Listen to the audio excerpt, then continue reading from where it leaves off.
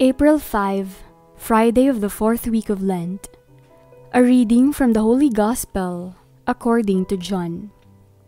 Jesus moved about within Galilee, but he did not wish to travel to Judea, because the Jews were trying to kill him. But the Jewish feast of tabernacles was near. But when his brothers had gone up to the feast, he himself also went up, not openly, but as it were in secret. Some of the inhabitants of Jerusalem said, Is it not the one they are trying to kill? And look, he is speaking openly, and they say nothing to him. Could the authorities have realized that he is the Christ? But we know where he is from. When the Christ comes, no one will know where he is from. So Jesus cried out in the temple area as he was teaching and said, You know me, and also know where I am from. Yet I did not come on my own, but the one who sent me, whom you do not know is true. I know him because I am from him, and he sent me.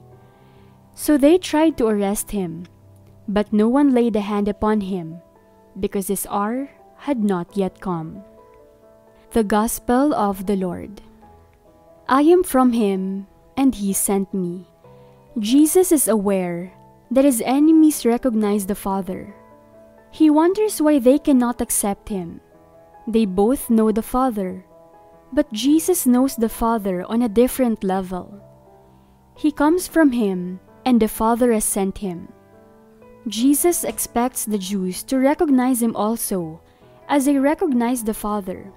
Yet, Jesus must be true, and he agonizes because they do not get this logic. The Jews regard his claim as blasphemy. For Jesus, their failure to get his point will lead to his death, but he does not care if he gets killed.